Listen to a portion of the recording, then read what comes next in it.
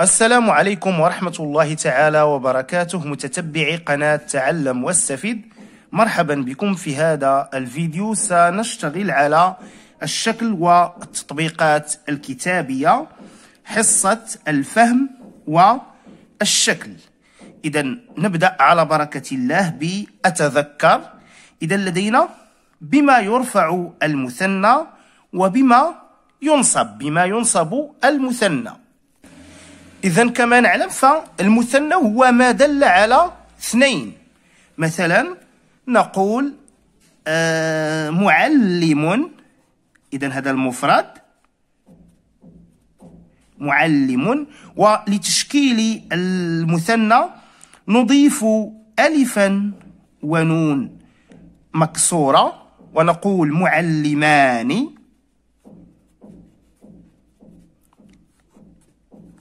أو نضيف للمفرد ياء ونون مكسورة ياء ساكنة ونون مكسورة ونقول معلمين. معلمين هكذا. إذا هذا هو المثنى والمثنى بما يرفع لاحظوا في كلمة معلمان فالمثنى هنا مرفوع بالألف. إذا هذا هو الألف الذي يرفع به المثنى. أما في النصب والجر فالمثنى ينصب ويجر بالياء. إذا هذه هي الياء التي ينصب بها المثنى ويجر. إذا سنقول يرفع المثنى بالألف. إذا هذا هو الألف. آه، كما قلنا الذي يرفع به المثنى. والياء التي ينصب ويجر بها كذلك. إذا يرفع المثنى بالألف. يرفع المثنى بالألف. ويمكن أن نعطي آه، جملة كمثال. مثلا الكتابان الكتابان مفيدان. إذا لاحظوا هنا المبتدأ الكتابان مرفوع بالألف والخبر مفيدان أيضا مرفوع بالألف. ثم بما ينصب إذا المثنى كما رأينا ينصب بالياء. إذا ينصب المثنى بالياء. مثلا ممكن نعطيوك مثال قرأت قصتين. إذا قرأت قصتين.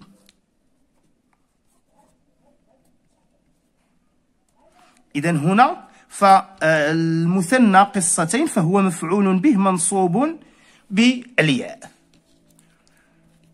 ثم بعد ذلك لدينا آتي بجملة تتضمن مفعولا لأجله. إذا أولا ما هو المفعول لأجله؟ إذا المفعول لأجله آه كما نعلم هو مصدر منصوب يأتي لبيان سبب وقوع الفعل. مثلا سنعطي مثال. آه سنقول أهتم بدروسي رغبة في النجاح. أهتم بدروسي رغبة في النجاح.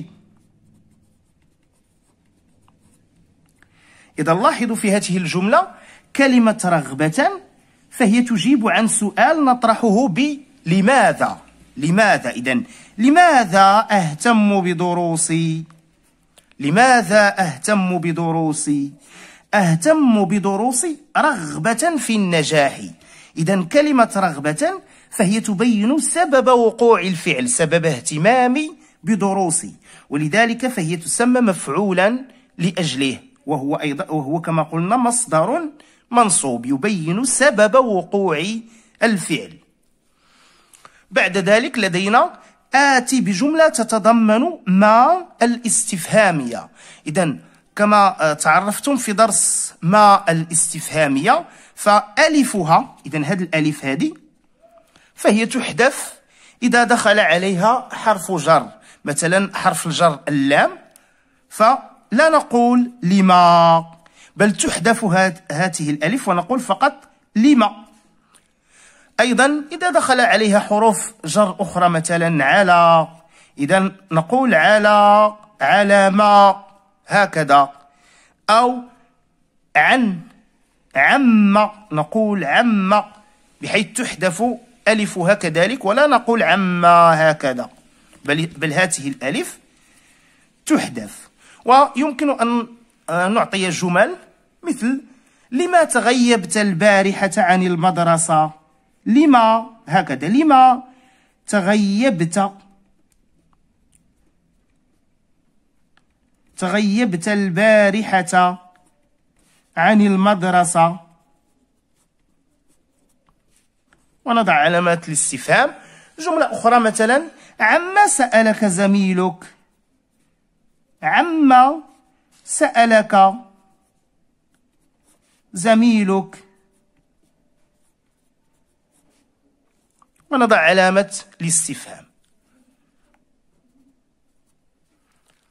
إذا الآن نمر للنص. إذا سأقرأ النص تابعوا معي. إذا عنوان النص هو زيارة إلى مقر الجريدة. دخلت الزائرتان إلى مقر الجريدة. رحب بهما رئيس التحرير ثم سأل لما جئتما إلى هذه الجريدة؟ وعما تسألان؟ وعلى ما تبحثان؟ أجابته ليلى جئنا للجريدة أملا في التعرف على مهنة الصحافة. تابعتها سعاد وإلى ما يستمر توقيت العمل. ابتسم رئيس التحرير ثم قال أنا في مكتبي أيتها الصغيرتان حرصا على صدور جريدتنا في وقتها المحدد. شكرت الصغيرتان رئيس التحرير وانصرفتا مسرورتين.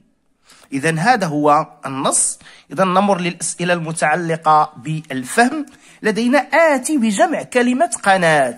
إذا نقول قناة قناتان قنوات. إذا جمعها هو قنوات قنوات.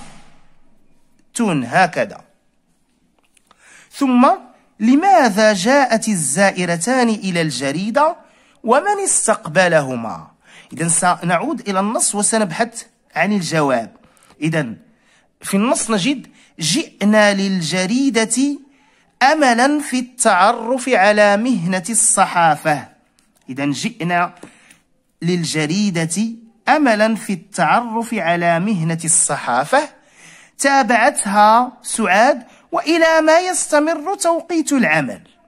إذا الزائرتان جاءتا إلى إلى الجريدة لتتعرفا على مهنة الصحافة وتعرفان أيضا إلى ما يستمر توقيت العمل.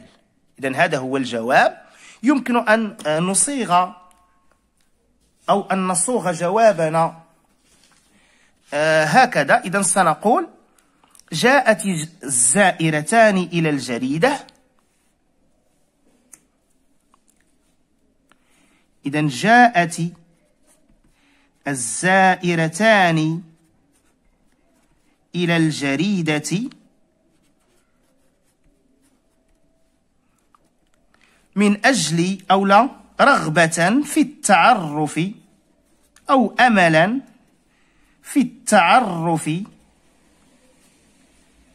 على مهنة الصحافة. على مهنة الصحافة وتوقيت نهاية العمل إلى ما يستمر توقيت العمل وتوقيت في التعرف على مهنة الصحافة وتوقيت عفوا وتوقيت نهاية العمل. ثم لدينا من استقبلهما. إذا في النص نجد ابتسم رئيس التحرير. إذا هما هما كانت كانتا تتحدثان مع رئيس التحرير. وأيضا في بداية النص نجد رحب بهما رئيس التحرير. إذا استقبلهما رئيس التحرير. إذا سنكتب استقبلهما.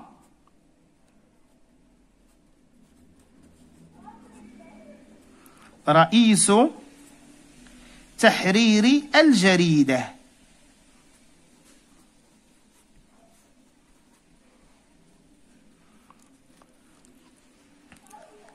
الآن نمر للسؤال الموالي.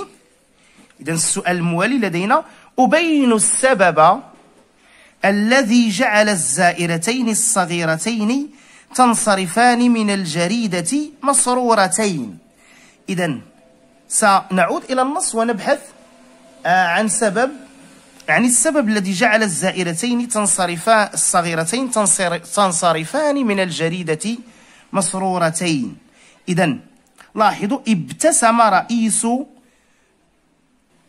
إذا قلنا ابتسم رئيس التحرير. أيضا في بداية النص لدينا رحب بهما رئيس التحرير. ثم أيضا هنا نجد ثم قال وأنا في مكتبي أيتها الصغيرتان حرصا على صدور جريدتنا في وقتها المحدد. شكرت الصغيرتان رئيس التحرير وانصرفتا مسرورتين. إذا يمكن القول أن السبب الذي آه، جعلهما تنصرفان من الجريدة مسرورتين هو حسن الاستقبال من والتواصل الجيد من طرف آه، رئيس تحرير الجريدة معهما. إذا سنقول السبب إذا السبب الذي جعل الزائرتان الصغيرتان تنصرفان من مقر من مقر الجريدة مسرورتين هو حسن الاستقبال. والتواصل الجيد من طرف مدير تحرير الجريدة.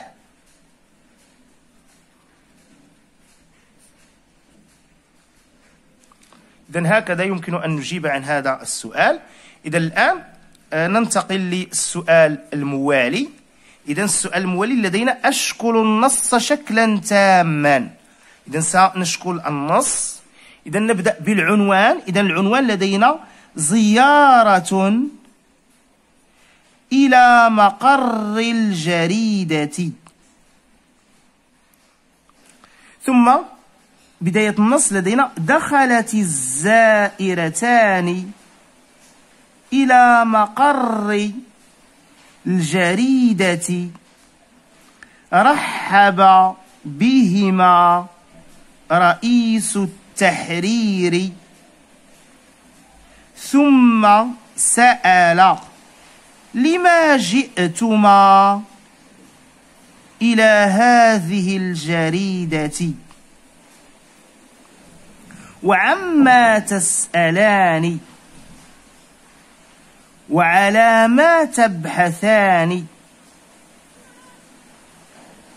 أجابته ليلى جئنا للجريدة. أملا في التعرف على مهنة الصحافة. تابعتها. سعاد. وإلى ما يستمر توقيت العمل. ابتسم رئيس التحرير. ثم قال أنا في مكتبي أيتها صغيرتان حرصا على صدور جريدتنا في وقتها المحدد. شكرت الصغيرتان رئيس التحرير وانصرفتا مسرورتين. إذا هكذا سنشكل النص. إذا آه هذا كل ما يتعلق بالحصة الأولى آه من الشكل والتطبيقات الكتابية. أشكركم على المتابعة وإلى اللقاء.